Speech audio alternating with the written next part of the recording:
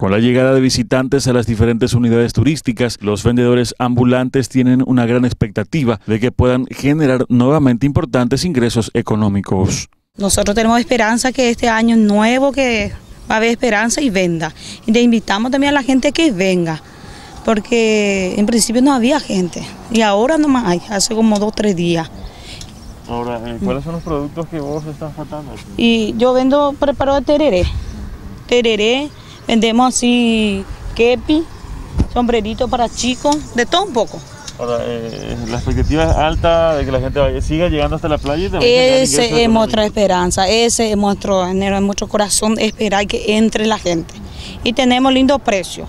Los sombreritos tenemos a partir de 20, lentes, 20 mil guaraní.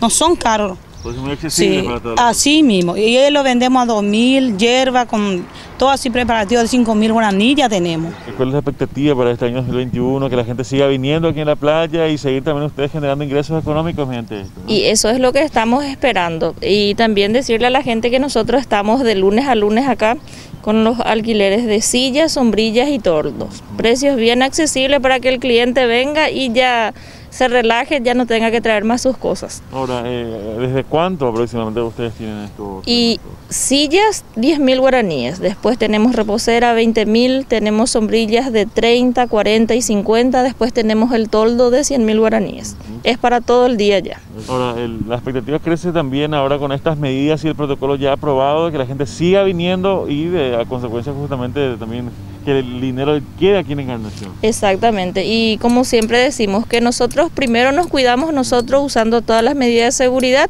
y después le cuidamos también a los visitantes, a los veraneantes. Ahora, eh, un poco tarde empezó el movimiento, nos imaginamos también que ustedes ya incluso sufrieron este impacto negativo a consecuencia de la pandemia. Exactamente, sufrimos bastante porque estuvimos acá desde el, eh, sería desde noviembre, ya estábamos nosotros eh, practicando todo este tema del protocolo. Pero, todo esto? ¿El protocolo está bien? ¿Qué le parece? Y excelente, es porque como digo, yo nos cuidamos nosotros y le cuidamos al turista que viene. Estos fueron capacitados previamente por la comuna para respetar todos los protocolos sanitarios dictados por el Ministerio de Salud.